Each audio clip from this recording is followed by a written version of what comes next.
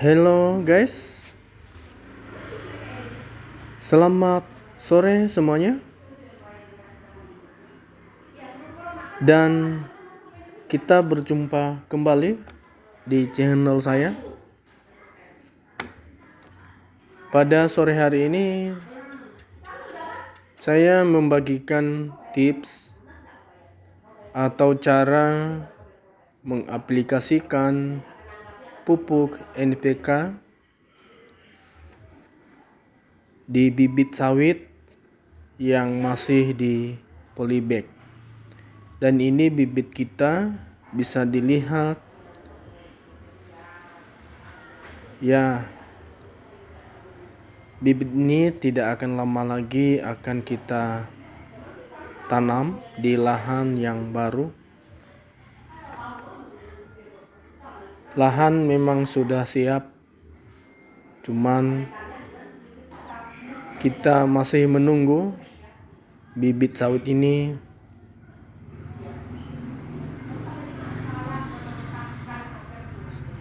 Supaya nantinya bibit sawit yang akan kita tanam sudah layak sudah bisa ditanam di uh, lahan yang baru. Cara pemupukan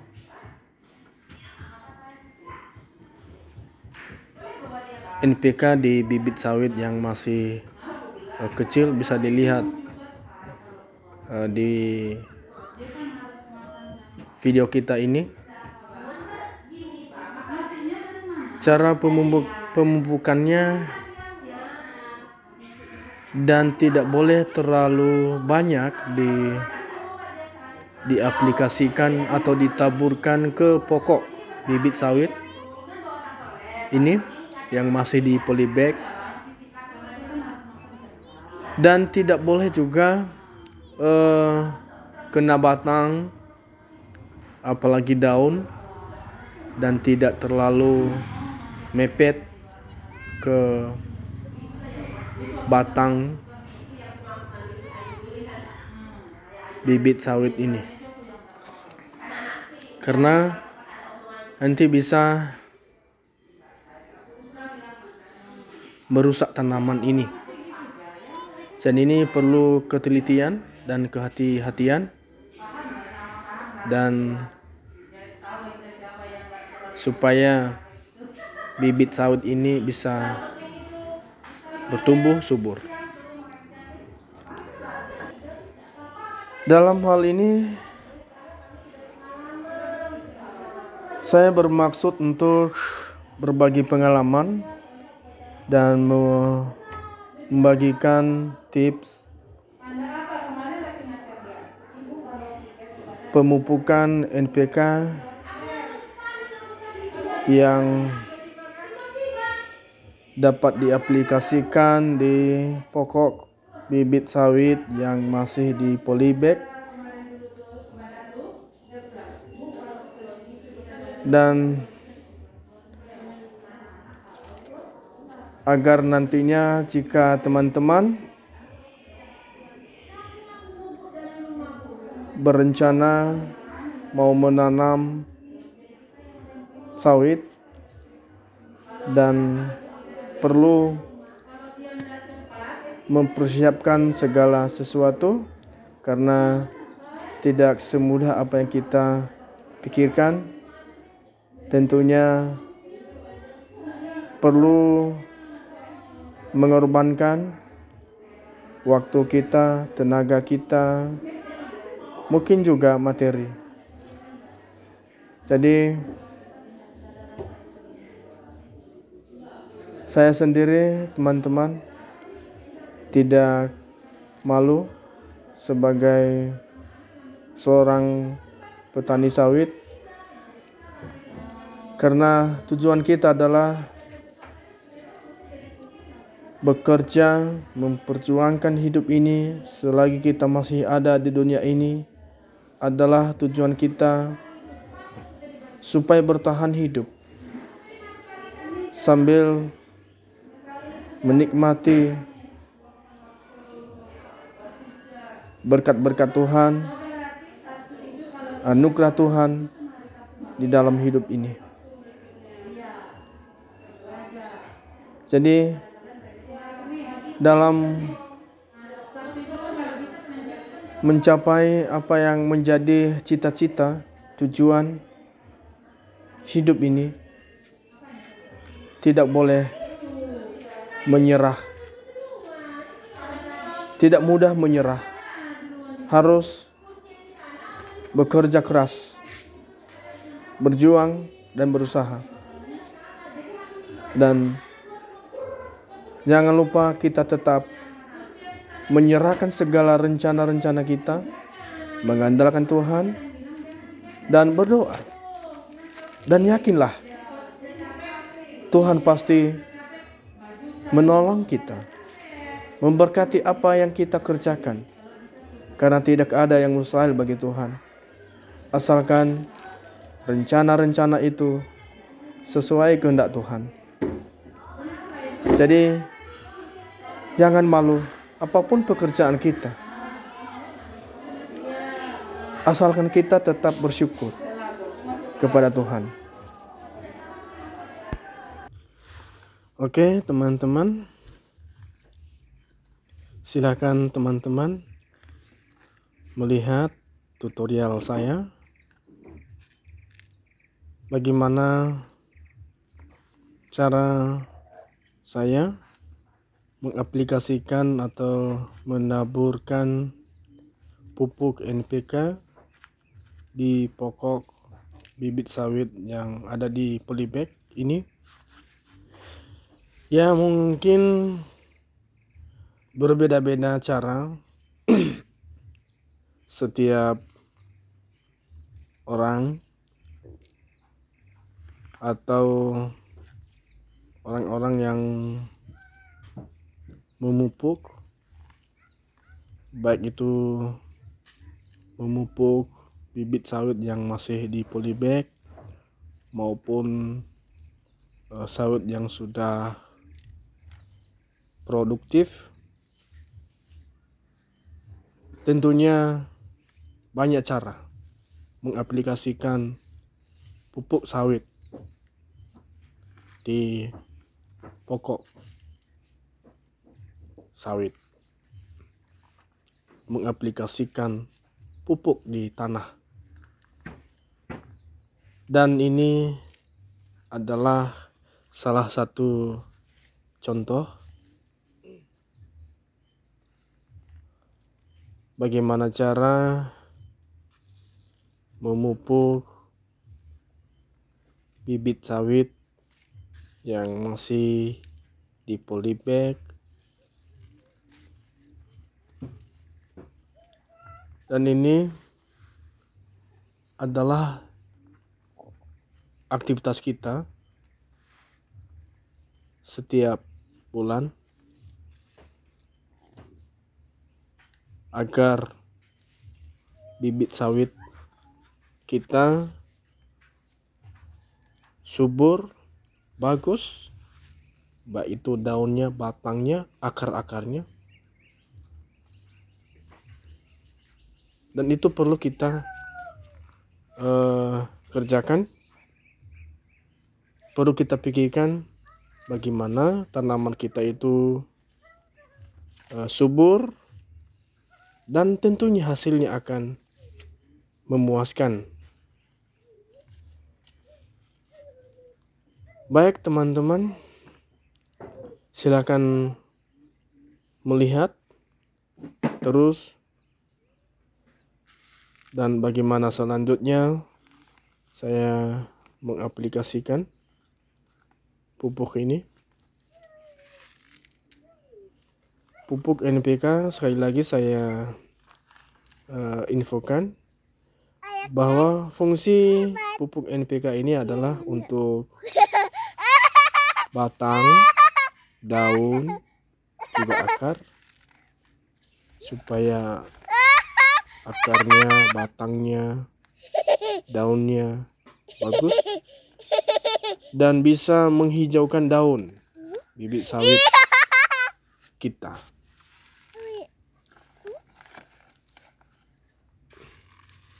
Oke teman-teman,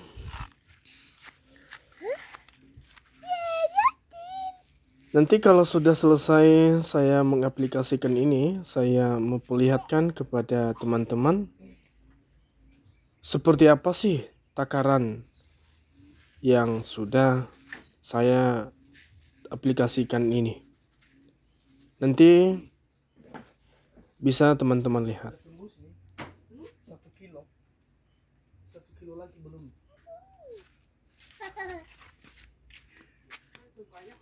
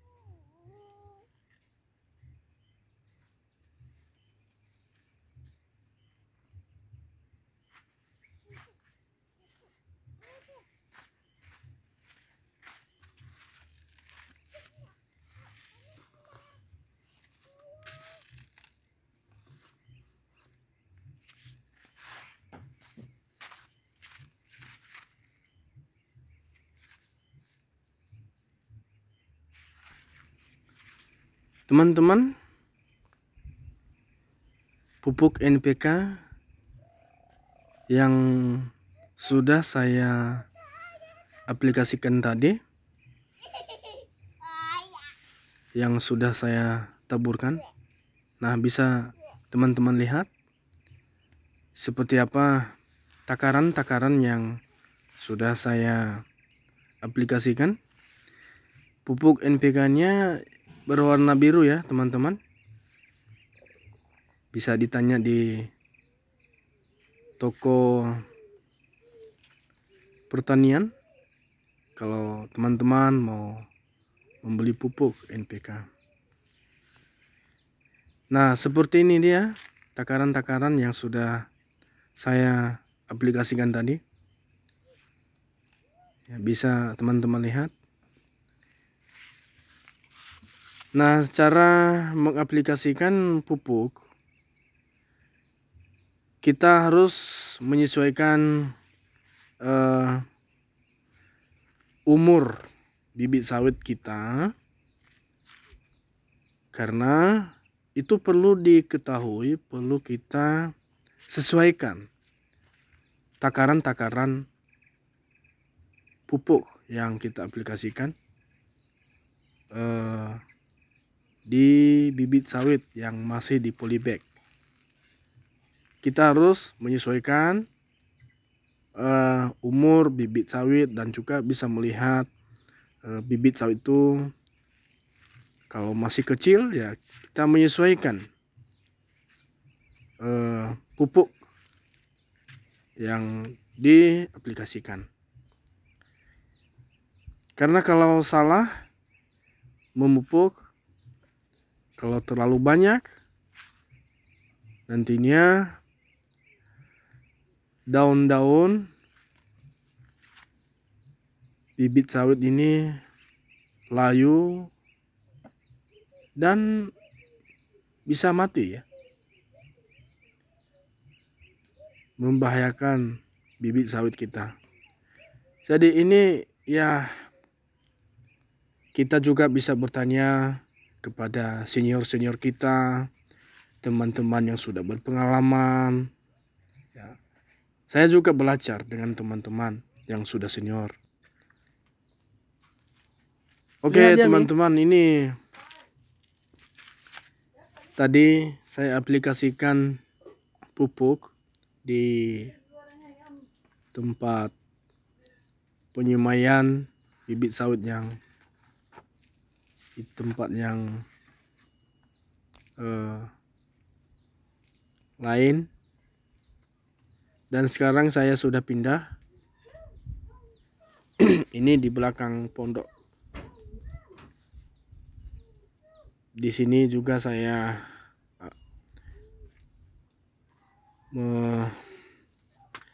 mengaplikasikan pupuk NPK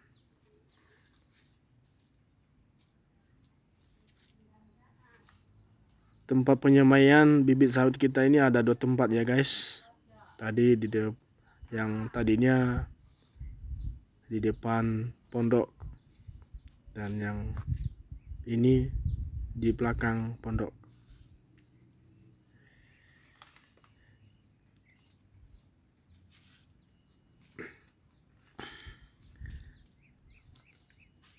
Jadi begini teman-teman, intinya kita itu terus belajar, ya, mencoba apa yang kita ketahui dan harus kita lakukan karena ilmu itu tidak berasal daripada diri sendiri. Tentunya juga kita peroleh dari orang lain. Pengalaman itu bisa juga kita peroleh dari orang lain. Jadi apa yang kita ketahui, apa yang kita dengar, kita harus uh, mencoba dan mempelajari dan melakukannya. Intinya adalah jangan malu Iya, menjadi seorang petani atau petani sawit. Ini kacang nih pak, kasih. Tapi Apa pun pekerjaan kita, yang penting halal. Kita yang bekerja, kita yang menikmati hasilnya. Artinya, kembali kepada kita atau kembali pada eh, cara kita. Bagaimana cara kita membawahi hidup ini? Tentunya keberhasilan yang kita dapatkan yang kita peroleh tentunya untuk keluarga dan tentunya kita juga harus sadar bahwa siapa pun kita apa pun yang kita miliki, apa pun yang kita peroleh, apa pun yang kita punya, itu adalah hanya titipan Tuhan, milik Tuhan.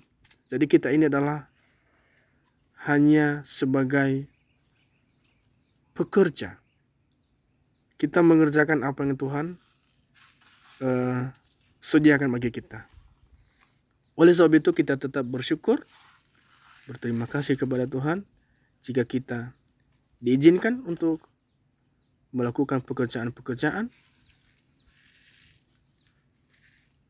untuk kebaikan kita. Dan apa yang sudah kita lakukan, hendaklah itu menjadi kemuliaan Tuhan.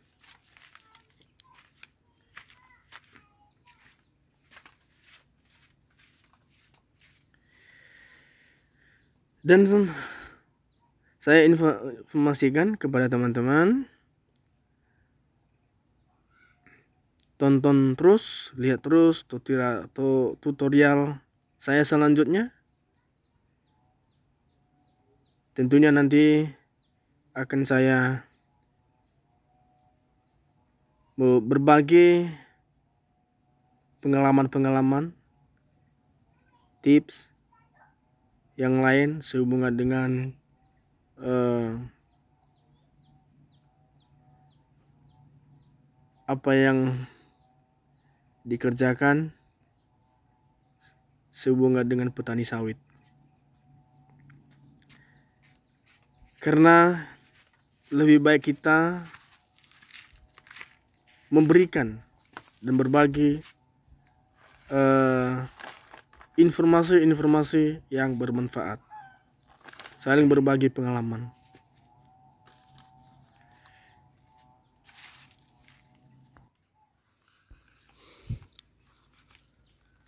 Baik teman-teman, mungkin hanya sampai di situ saja yang bisa saya bagikan kepada kita pada sore hari ini. Semoga bermanfaat. Kalau ada hal-hal yang kurang, kalau ada hal-hal yang uh, kurang mengena di hati teman-teman. Mohon dimaklumi. Dan saya minta dukungan dan minta bantu kepada teman-teman bagi yang menonton tutorial ini. Jangan lupa like, subscribe, dan komen. Bila perlu teman-teman, saya minta bantu di share ke teman-teman untuk di subscribe supaya melalui dukungan teman-teman saya terus termotivasi dan semangat dan lebih tekun lagi memberikan konten, tips, dalam hal eh, berbagi pengalaman-pengalaman, ilmu-ilmu di seputaran petani sawit. Oke, teman-teman, itu saja. Sampai berjumpa kembali di tutorial selanjutnya. Terima kasih. Selamat sore.